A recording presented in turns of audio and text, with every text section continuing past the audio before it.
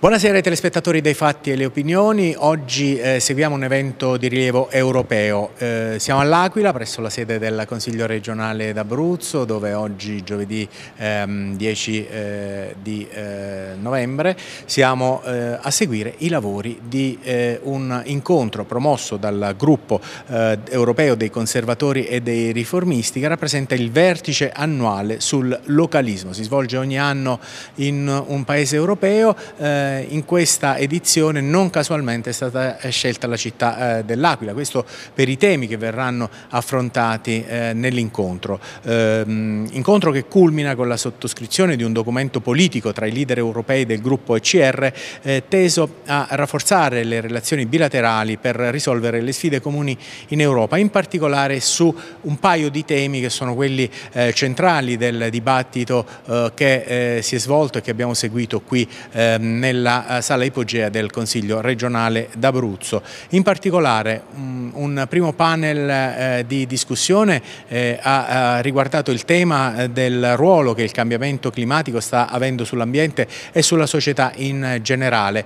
Il secondo panel ehm, è nel ehm, quale gli oratori internazionali hanno analizzato i problemi demografici, in particolare il calo del tasso di natalità e l'invecchiamento della popolazione riflessione su come questi elementi vadano a gravare eh, sulle aree interne, ehm, quindi eh, resilienza, eh, ambiente, eh, terremoti e anche i temi sociali. Ehm, un terzo panel che è stato eh, poi anche moderato dal sottoscritto eh, ha visto il confronto tra i giovani amministratori e politici del gruppo ECR di varie nazionalità e sempre europee che si sono confrontati sulle sfide del futuro. Ed è questo che vi manderemo in onda eh, preceduto però ehm, questo eh, incontro, questa tavola rotonda dalla dichiarazione finale che è stata eh, sottoscritta qui all'Aquila eh, con la conferenza stampa, il punto stampa eh, del Presidente della Regione Marco Marsiglio, il quale è stato eh, il promotore di questo evento nel suo ruolo appunto ehm, di rappresentante delle regioni nel, ehm, nel gruppo ECR e poi in particolare con gli interventi le sottoscrizioni di tutti i leader europei del gruppo. Eh, All'incontro ha partecipato da remoto anche il nuovo ministro eh, Raffaele Fitto. Quindi spazio ai contributi eh, che eh, si riferiscono inizialmente alla conferenza stampa del Presidente Marsiglio con la sottoscrizione dell'accordo e successivamente al panel eh, dei giovani amministratori. Buona visione e buon ascolto.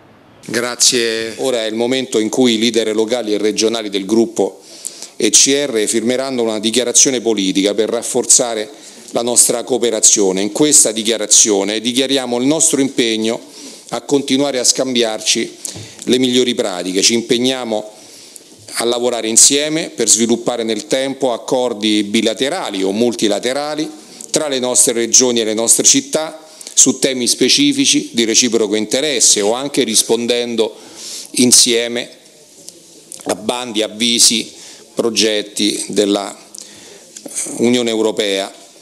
Quindi cercheremo di aiutarci a vicenda in situazioni di crisi, come disastri naturali, emergenze sanitarie aumento della pressione migratoria.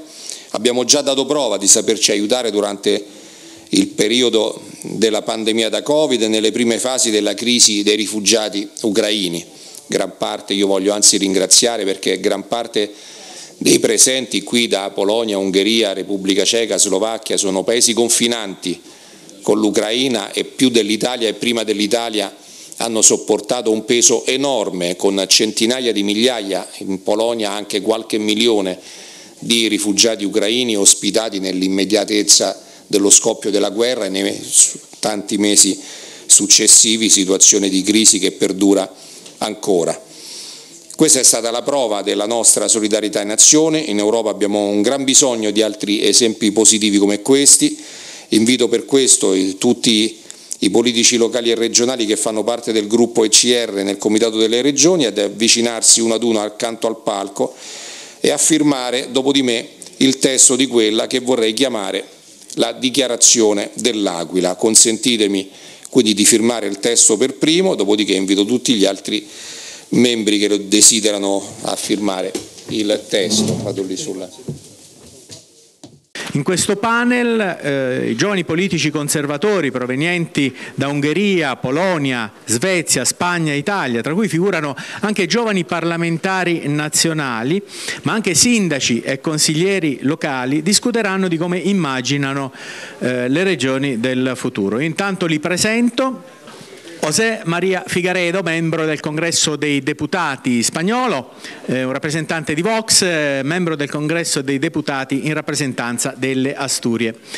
Lajos Barksa è vice sindaco di Debrecen in Ungheria eh, dal novembre del 2014, Mateusz Cebola, consigliere comunale di Debisa in Polonia, che è attualmente consigliere comunale eh, proprio di questa eh, realtà eh, in Polonia, ehm, Gabriel Krohn, sindaco ombra nel Consiglio eh, Comunale di eh, Stoccolma e Daniele Sinibaldi, sindaco eh, di Rieti, che è vicepresidente vicario anche dell'Anci del Lazio. Quindi giovani a confronto sul tema dell'Europa e soprattutto sui temi di questa giornata di lavori dell'ECR.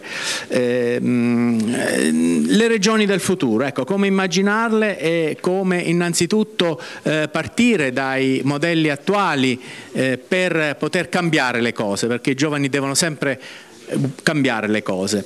Gli oratori in questo primo giro di incontro eh, vorrei invitarli a eh, descrivere brevemente il sistema di governance che vige nei loro paesi e il ruolo svolto dalle città e dalle regioni eh, al suo interno e mh, mm, soprattutto mh, mm, focalizzare una loro riflessione sulla eh, necessità di un maggiore decentramento oppure eh, quella di una maggiore centralizzazione in alcune aree. Ecco, questa sfida eh, tra mh, centri di potere centrali e quelli locali eh, va affrontata singolarmente eh, a seconda delle realtà eh, che loro si trovano in alcuni casi anche ad amministrare.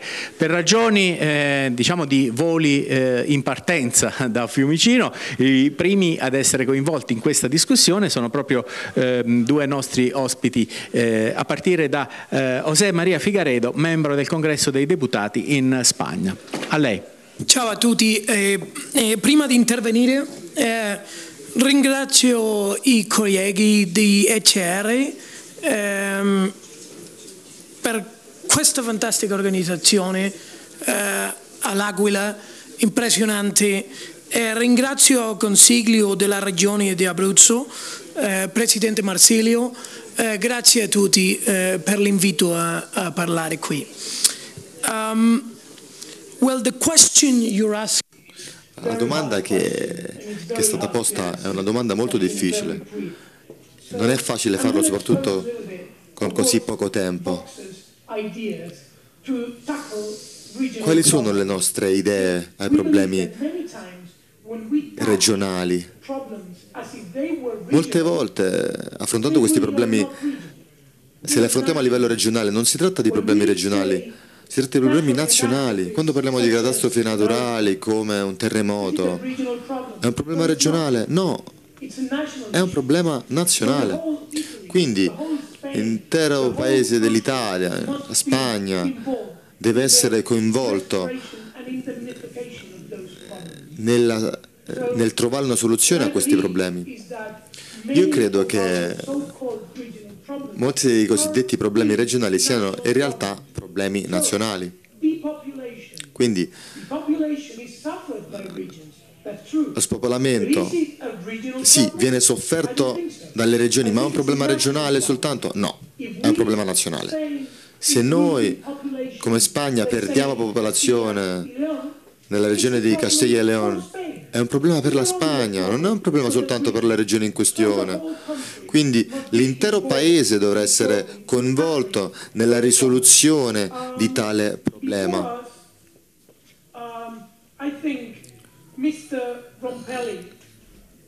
Signor Rompelli, non lo vedo qui in questo momento, il Presidente Joba, hanno parlato eh, di questo problema in maniera molto specifica. Abbiamo bisogno di opportunità lavorative nel nostro contesto, abbiamo bisogno di servizi medici, eh, assistenza medica, abbiamo bisogno di servizi scolastici.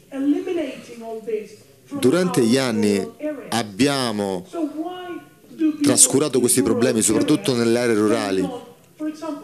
E perché queste persone non possono beneficiare di questi servizi? Perché non è giusto. In che modo siamo riusciti a non farlo per così tanti anni? Perché abbiamo proibito la caccia? Perché l'abbiamo fatto? Perché l'agenda del 2030 va a colpire l'allevamento tradizionale? Perché in Europa ci accaniamo in alcuni settori che sono anche favorevoli nella riduzione di problemi come il cambiamento climatico, per poi importare i nostri cereali dall'estero. Quindi stiamo eliminando delle possibilità per le nostre aree rurali di guadagnarsi la vita attraverso il lavoro fatto nel territorio come hanno fatto per centinaia di anni. Questo stiamo facendo, sostituendo tutto ciò con le importazioni. E adesso ci lamentiamo che le persone nelle aree rurali non vogliono rimanere lì. Beh, gli abbiamo proibito di lavorare lì, di guadagnarsi da vivere lì come hanno fatto per anni ed anni. Questo è il problema. Quindi è un problema che è vissuto a livello regionale ma in realtà è un problema nazionale. Credo di, di aver risposto alla tua domanda. Spero di sì. Molto incisivo Che lei deve andare via, quindi anticipo anche una seconda domanda che avrei voluto farla, proprio appunto alla, alla, luce anche del risultato che ha ottenuto eh, Vox in Spagna, rispetto alle eh, tendenze separatiste che in Spagna eh, si eh, accavallano nel corso eh, degli anni. Ecco, voi come pensate di incidere su questo tema, eh, che è un tema anche di rilevanza costituzionale interna della Spagna? Well, I think um,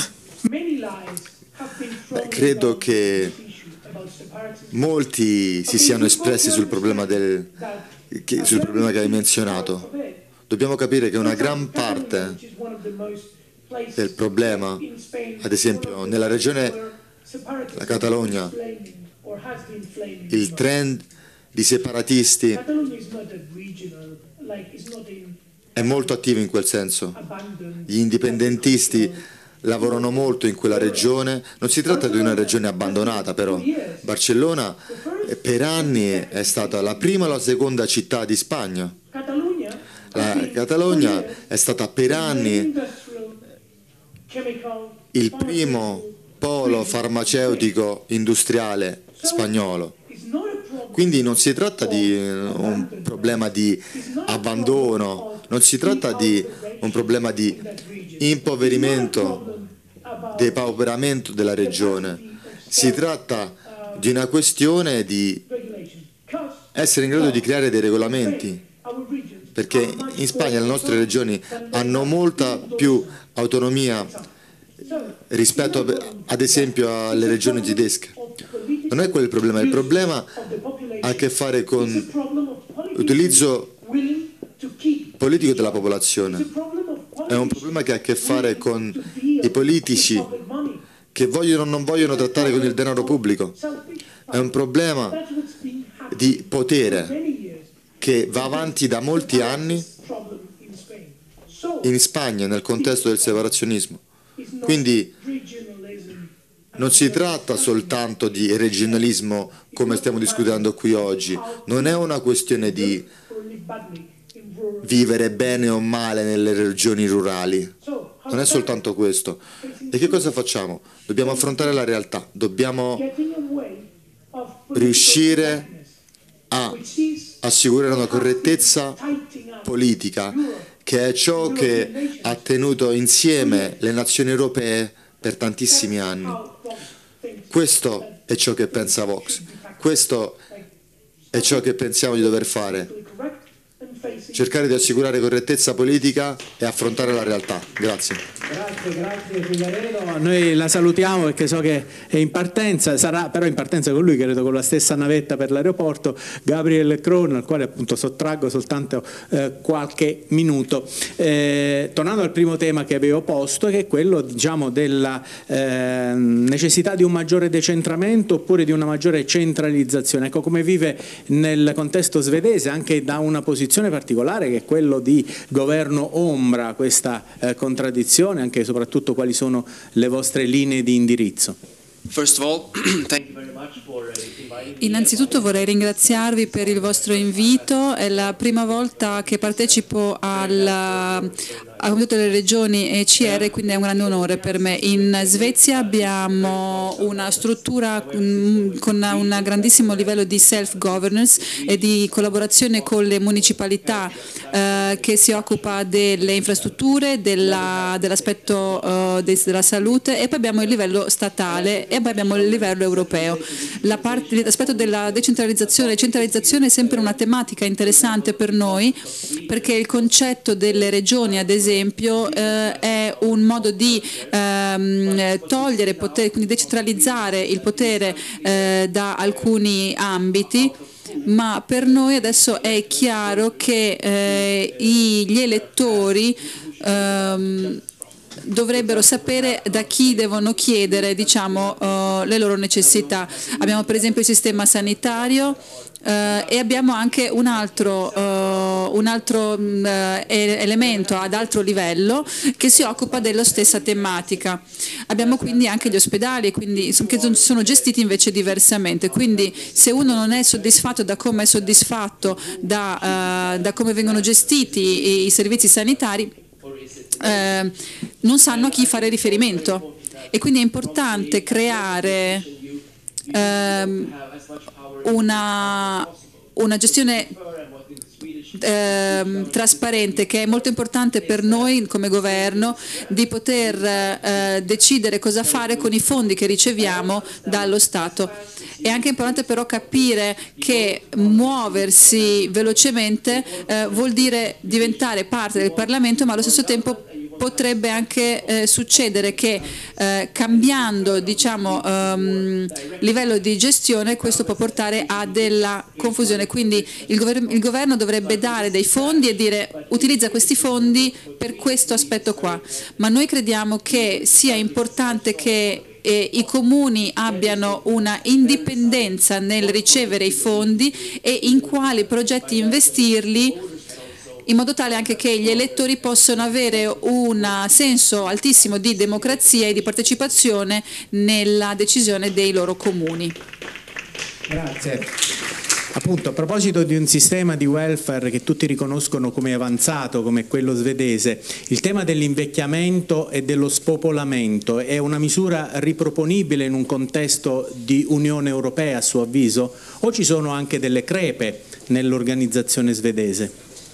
Uh, Credo che lo spopolamento dovrebbe essere affrontato a livello locale. La Svezia una, vive una forma di eh, spopolamento nel, nella zona centrale soprattutto, ma ero molto interessato anche ai dibattiti eh, che sono stati presentati per esempio eh, dello spopolamento in Spagna e in Italia credo che ci sono molti miglioramenti che possono essere fatti a livello comunale, ad esempio alcuni di voi avete già sentito la forma Italia eh, di poter eh, trovare, prendere delle case a un euro in alcune eh, zone rurali, alcuni giornali hanno scritto di questa cosa. E quello che noi vediamo, almeno in Svezia, quando abbiamo letto questi articoli, è che molti, ehm, molte persone volevano lasciare la Svezia per andare a vivere nei paesini italiani. Ma il problema che poi sorge è che queste, questi comuni non rispondevano però alle mail, alle richieste di questi eh, richiedenti svedesi e quindi non hanno potuto affrontare la proposta con il servizio necessario. Um, quindi hanno praticamente tagliato fuori eh, le famiglie con un buon diciamo, introito lavorativo, una buona formazione dalla eh, scelta di queste persone, quindi non hanno potuto approfittare di un ingresso tale, di un'immigrazione tale.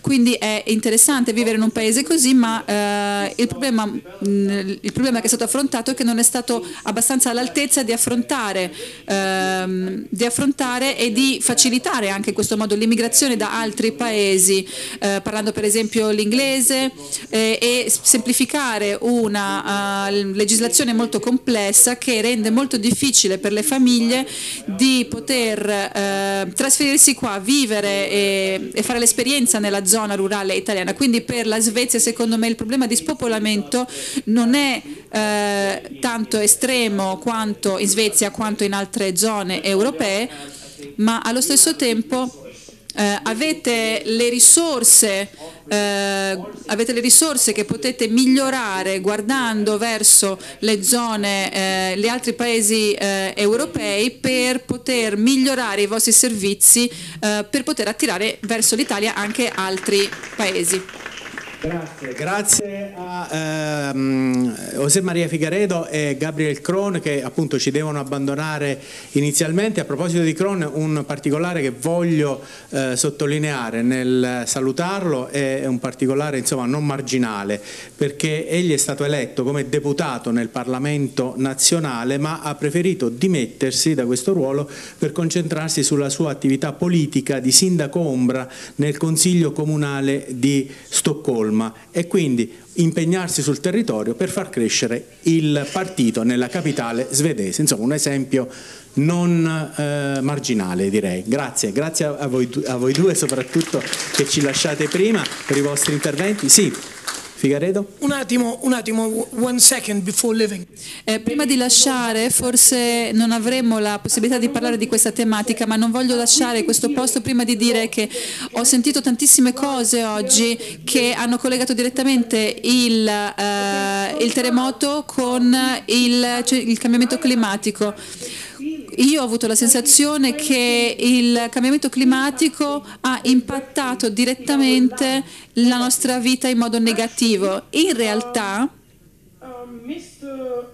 il signor Roberto Ciavetti ha, ha dato un, no, un, numero di eh, vittime dovute al cambiamento climatico e io sono, personalmente sono un avvocato e quando devo collegare delle cause economiche ad alcuni fatti devo veramente provarle in modo concreto. Come possiamo quindi eh, accettare, come possiamo quindi dire che le, eh, i, eh, i, terremoti che esistono da, da centinaia di anni, ce ne sono tantissimi nella storia dell'Aquila, Um, ed è lo stesso che quando diciamo per esempio che l'eruzione del vulcano in La Palma in Spagna è dovuto al cambiamento climatico. Possiamo dire una cosa genere? Eh, le alluvioni ad esempio in Egitto eh, è una cosa che avviene da tantissimi decenni centinaia di anni, cosa hanno sempre fatto? Hanno canalizzato il Nilo. Questo è quello che l'essere umano sta facendo da migliaia di anni. Quindi quando abbiamo difficoltà con il nostro ambiente noi cerchiamo di adattarci e controllarlo.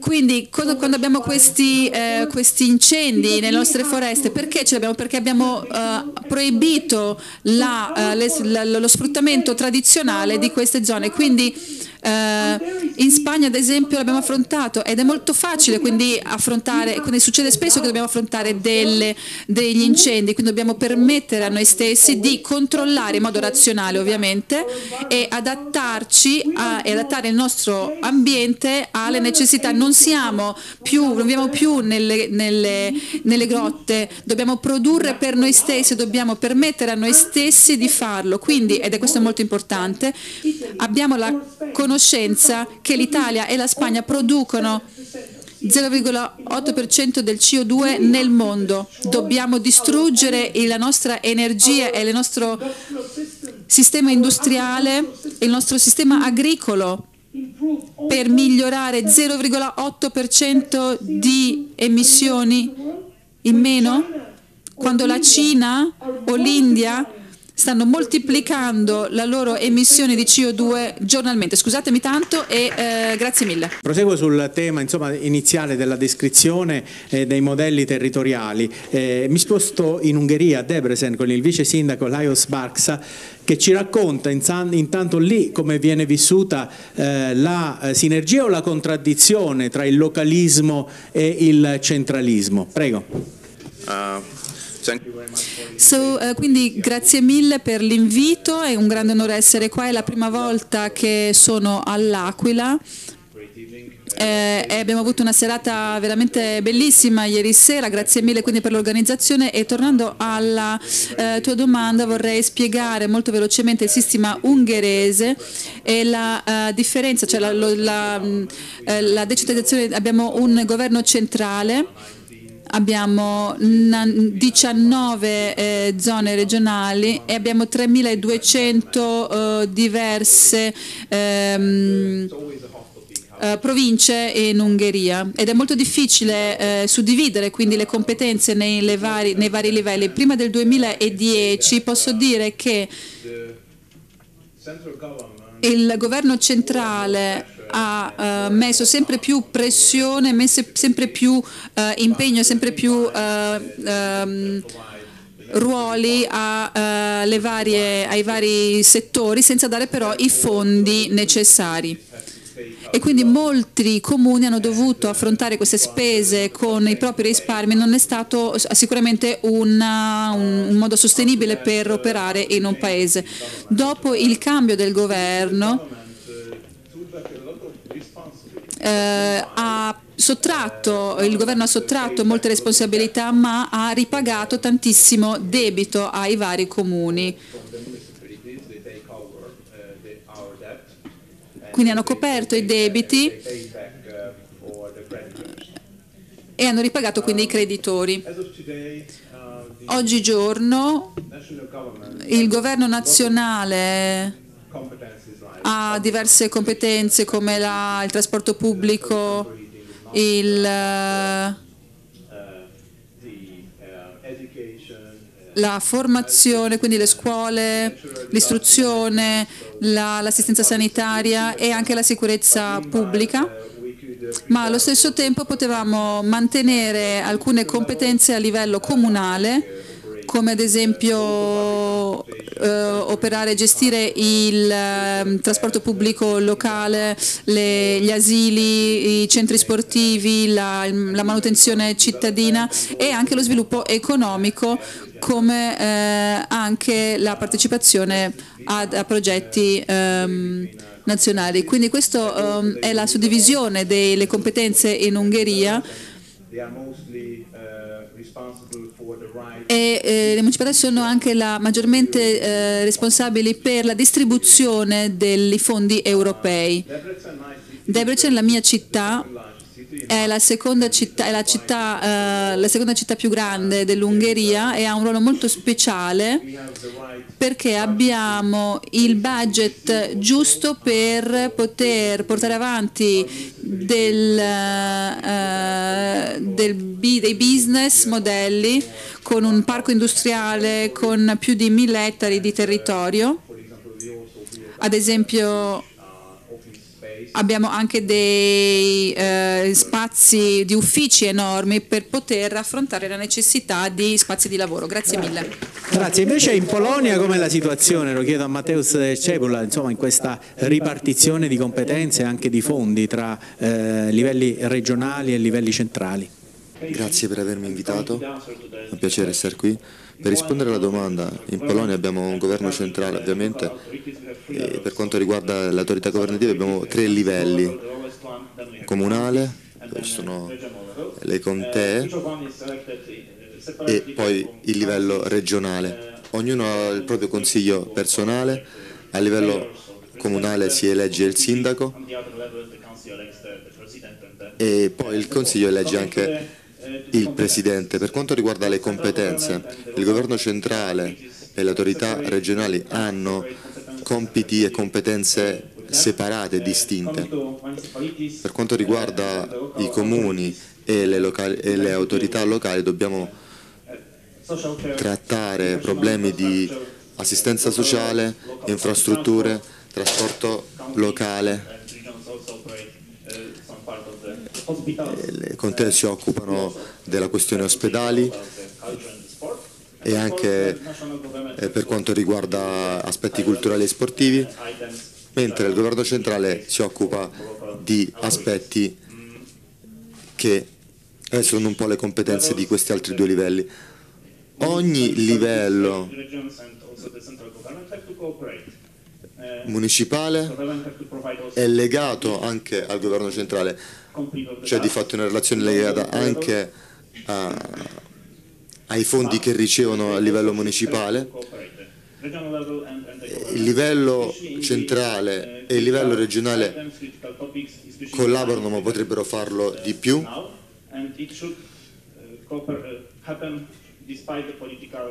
Tutto ciò avviene anche al di là delle differenze politiche che ci sono all'interno del nostro paese.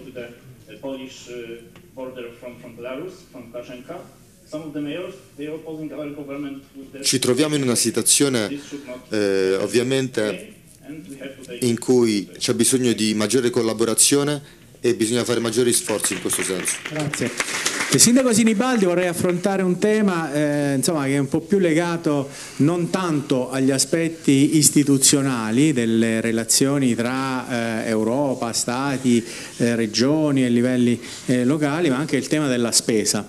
Perché in particolare per il sostegno alla famiglia e più in generale il welfare sono eh, necessari fondi eh, per superare i temi anche del declino demografico nelle aree a maggior rischio di marginalizzazione. Come andrebbero ripartite a suo avviso le competenze e soprattutto i costi tra l'Europa, gli Stati, le regioni e gli enti locali? Sì, innanzitutto un saluto a tutti e un ringraziamento al Presidente Marsilio per l'invito, al collega Biondi per, per l'ospitalità ma credo che quello del, del, welfare, soprattutto delle aree interne e marginali, sia un problema che moltissimi sindaci toccano, toccano con mano e c'è un sistema che, che, non funziona, a partire però da un'impostazione eh, parziale che è quella istituzionale che va sicuramente modificata. Noi abbiamo avuto una eh, riforma a metà che è quella delle province la riforma del Rio che ha di fatto tolto risorse e competenze a degli enti intermedi che erano gli enti che garantivano una serie di eh, trasferimenti sui territori da parte dello Stato e delle regioni e garantivano anche la possibilità di incidere soprattutto per quanto riguarda territori come quelli de delle aree interne, faccio l'esempio della mia provincia che è una provincia molto grande come territorio, sono circa 73, sono 73 comuni, la provincia era un ente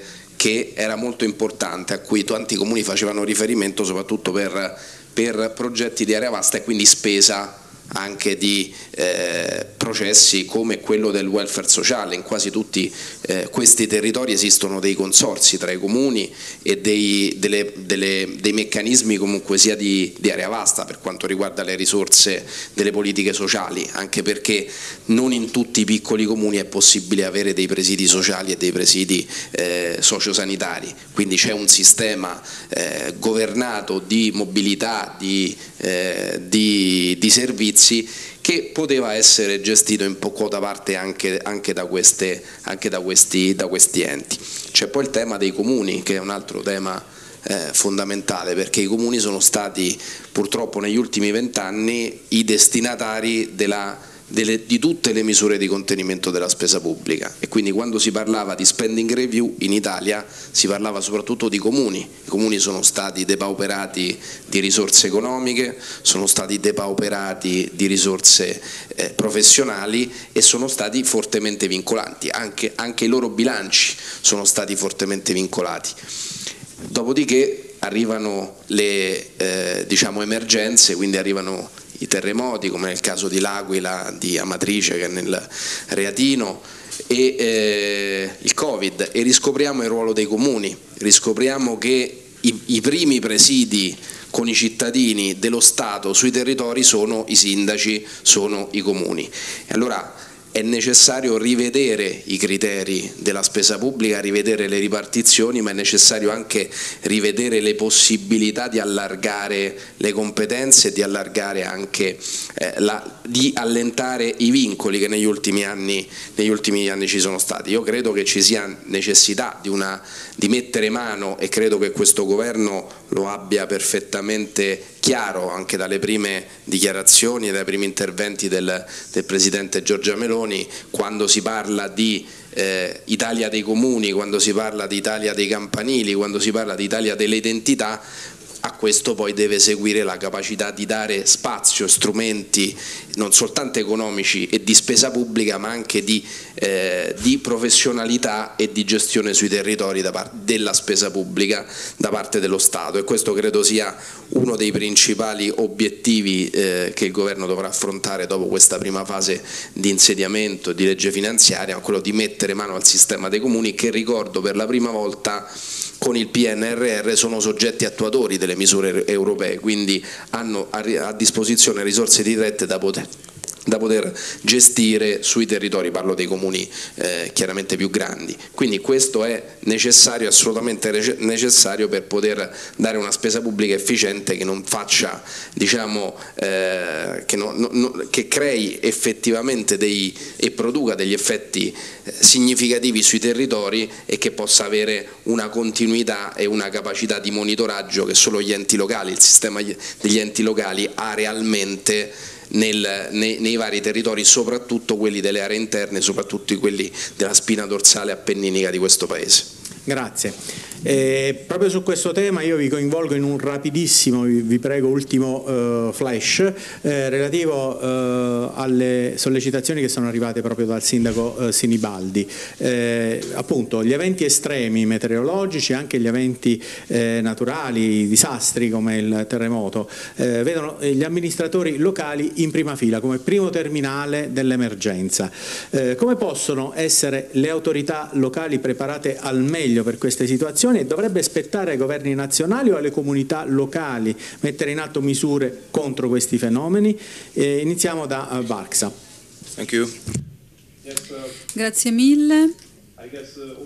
Credo che tutti i livelli del, abbiano delle competenze, abbiano delle responsabilità. Credo che il, la gestione questo, del sistema è eh, parte del sistema nazionale in Ungheria e credo che sia una soluzione positiva e giusta per affrontare questo tipo di problematiche. Fortunatamente non abbiamo questo tipo di calamità Uh, come i terremoti uh, in Ungheria non è un territorio sismico, ma allo stesso tempo abbiamo degli altri problemi che dobbiamo affrontare perché eh, a lungo termine possono portare a uh, problemi ancora maggiori che è la siccità.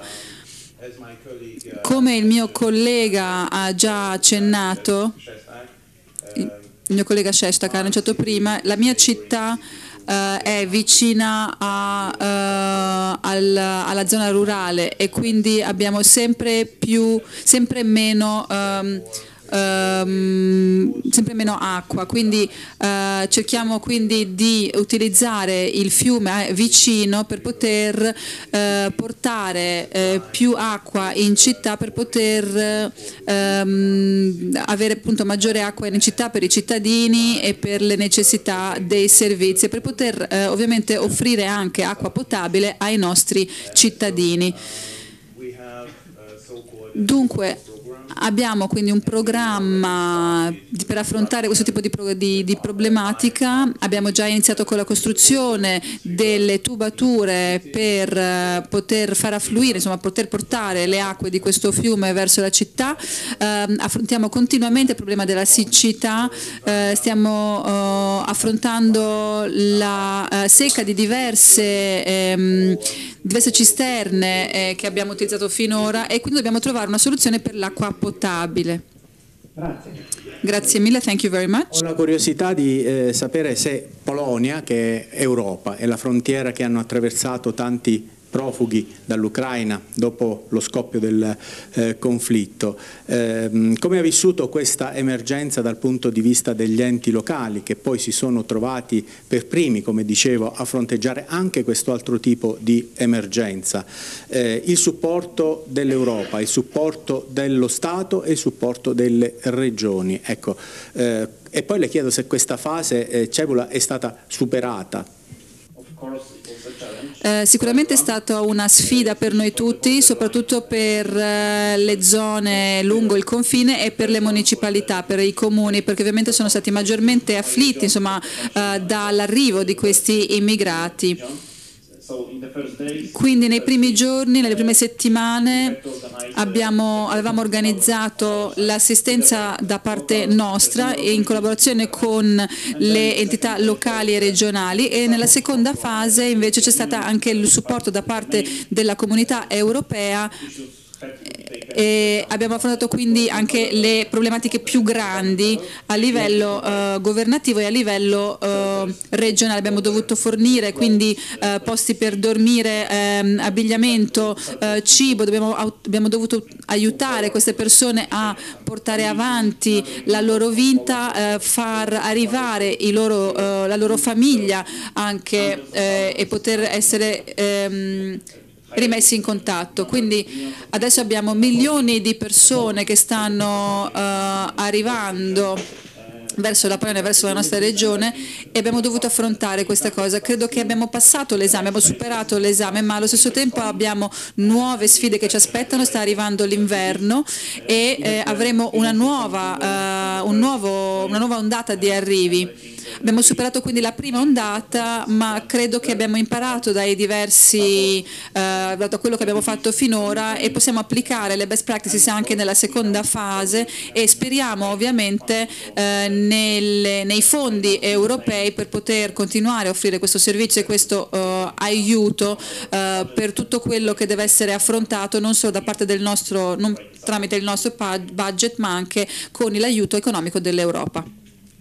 Trovo molto significativo che a concludere questa giornata, eh, dopo gli interventi in apertura del Presidente della Regione Abruzzo e del Sindaco dell'Aquila, sia il Sindaco eh, di Rieti, perché il Lazio è una eh, ge regione gemella all'Abruzzo, purtroppo nell'aver vissuto insieme eh, la tragedia del sisma in centro Italia. Quindi all'aver sviluppato insieme all'Abruzzo intanto dei meccanismi di eh, organizzazione, di prevenzione eh, di questi rischi, rischi, e, insomma è stato anche qui un cantiere come ricordava anche il eh, nostro direttore dell'agenzia eh, Casinghini, ma anche un modello di resilienza delle, delle popolazioni e dei territori. Ecco, eh, vorrei che eh, ci dia lei qualche spunto per il futuro, anche alla luce del fatto che oggi c'è un modello commissariale anche nella gestione della ricostruzione e della sua interazione con i livelli locali del, del governo. Grazie Sindaco. Sì, grazie. Eh, beh, il modello commissariale è un modello che eh, coinvolge le quattro regioni del centro Italia, Umbria, Abruzzo, Lazio e Marche per i circa 130-138 comuni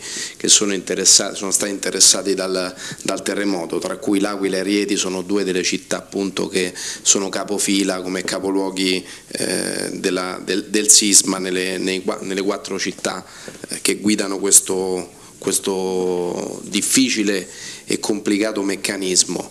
È un, com meccanismo commissariale che eh, è arrivato a un testo unico, il testo unico sulla ricostruzione che deve servire proprio a cercare di prevenire quantomeno dei modelli di approccio amministrativi sia degli enti locali che delle, che delle regioni in caso di calamità naturale, in caso di, eh, di terremoto. Aggiungo però che non basta questo perché purtroppo quando si arriva a un modello commissariale si arriva sempre quando il problema si è già verificato.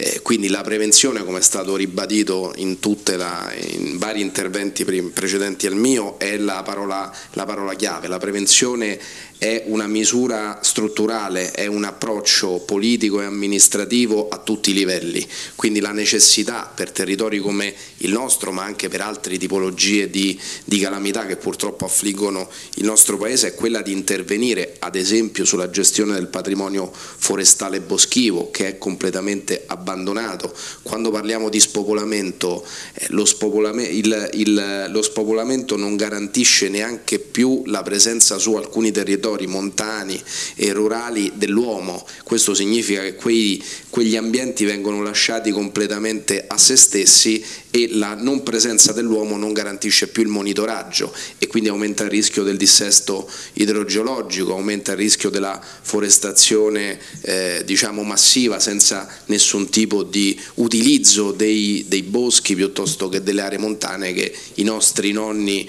utilizzavano, custodivano come patrimonio che gli era stato, che gli era stato lasciato.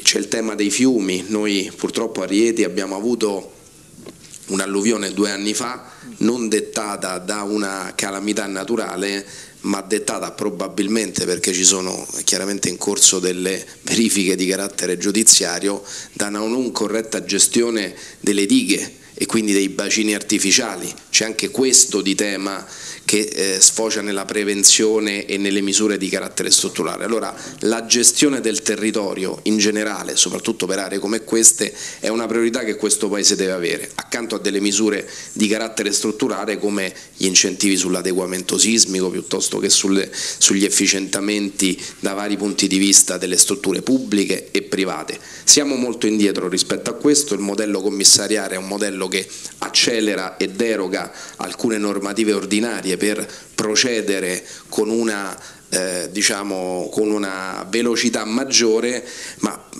se si è arrivati a un modello commissariale è perché l'ordinaria amministrazione non funziona. Allora l'ambizione che deve avere il nuovo governo, la classe dirigente politica di questo Paese è di riformare l'ordinaria amministrazione, perché non si può nemmeno pensare che un Paese intero, una nazione intera venga commissariata ogni volta che c'è un problema. C'è la necessità di intervenire su una sulla normativa di carattere generale e produrre degli effetti che vadano anche più lentamente ma a costruire un meccanismo strutturale per la prevenzione dei rischi di vario tipo ambientale di questo Paese. Grazie, grazie a tutti voi e grazie per essere intervenuti qui in Abruzzo.